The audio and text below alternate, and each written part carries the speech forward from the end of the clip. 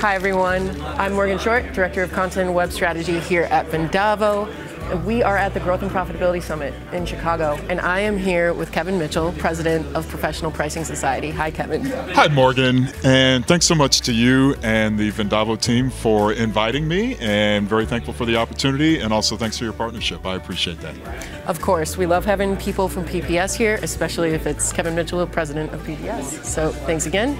And I have a question for you. My first question is, what trends are you seeing in pricing right now? What's top of mind? There are a few things that are top of mind for us right now. Um, obviously, we're coming into a global macroeconomic situation where there's a lot of uncertainty out there, there's a lot of disruption out there. We're coming off of an inflationary period. Depending on your industry, your geography, you might see continued inflation. You might have an evening out of costs. You might have some things that are up and some things that are down. I've heard people use the term hybridflation because some things are crazy and some things are more settled. But really, what this means is there's a lot of uncertainty where we really do not know what's going to happen from a global macroeconomic perspective. Also, some other trends we are seeing is that a lot of people are adopting more of an omni-channel approach where they are selling through a lot of different methods that may be new to them.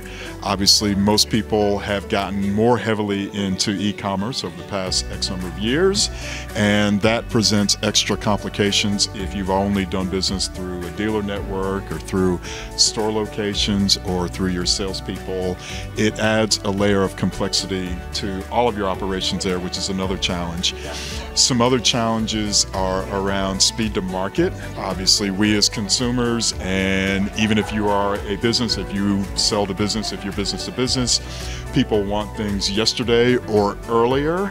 And so, a lot of the challenges that we're seeing now is that people have the opportunity to do their shopping online, get information for themselves, but when they want answers, they want them now. When they want a deal or an offer from your company, they want it now. They want everything laid out, and they want you to have all of the answers almost before they ask, ask the questions.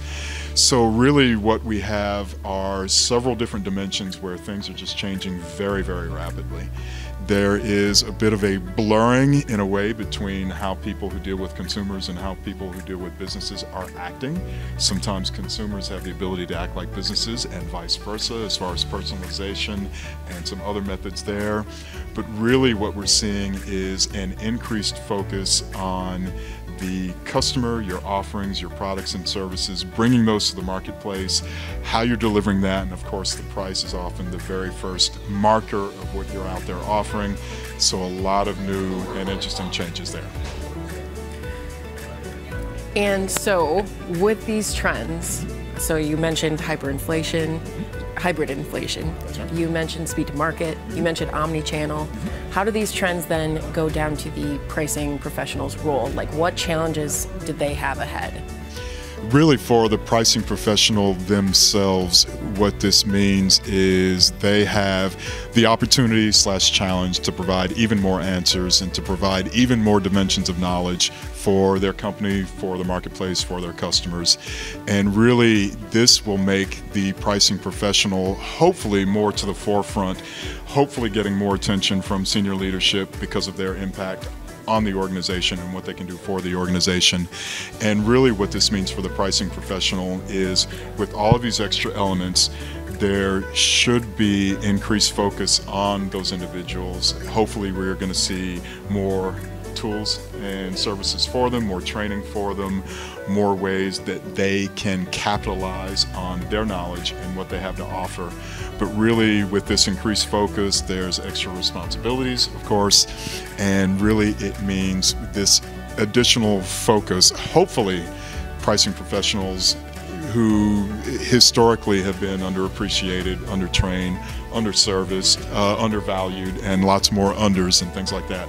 Hopefully, we are seeing some changes to that, and they are getting the emphasis, the attention, the tools, the techniques, the strategies that they need in order to do their jobs better. Absolutely, and that's what we want at Vendavo as well to focus on that on that pricer and make sure that they are supported in their roles. So, um, one last question for you, of Kevin.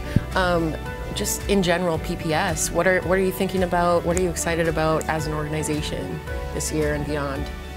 really what we are excited about is we are expanding our offerings. Um, we have always enjoyed great partnerships with Vendavo and lots of other consulting companies, academics, people around the industry. But really, what we're excited about is almost more probably through perspiration than inspiration. But if we go back to the last big shock to our system, the recession of 2008, 2009, depending on your industry and your geography there, is we had very large shifts in favor of lots of online pricing courses, lots of on- online offerings to our people when people didn't travel. Obviously, during the pandemic, that put us in a good position because people didn't travel again. But now we're in the great position, Morgan, where we not only have built up our online offerings over the years, but back to in-person events. So of course, very thankful to be here as well. So expanding our conference offerings, expanding our online offerings, expanding our training, our certification, our publications, looking at other geographies, industries that are new and that are just getting into pricing.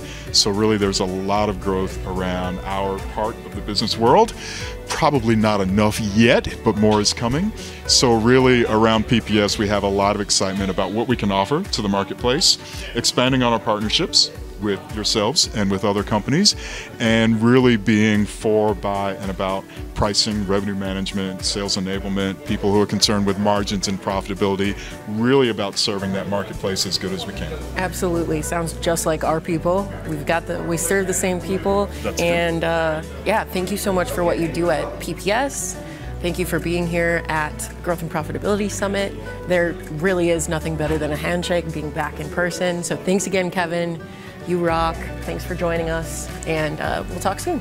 Absolutely. Thank you, Morgan. Appreciate that. Thank you, man.